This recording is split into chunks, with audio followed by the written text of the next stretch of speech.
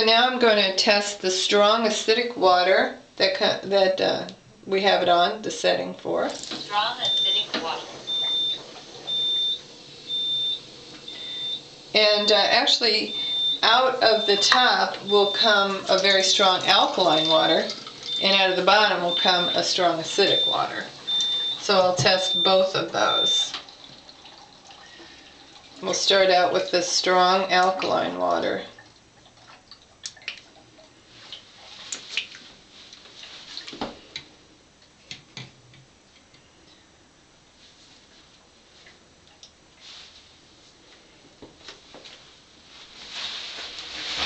That is definitely stronger than the other.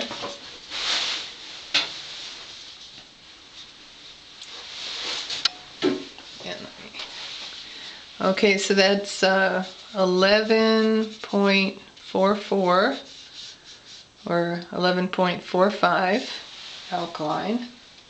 And um, let's just see what the ORP is on this.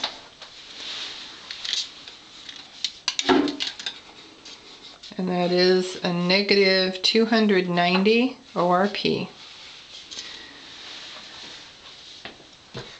And now I'm going to uh, test what came out the bottom, which is the acidic water. And test that for pH first of all.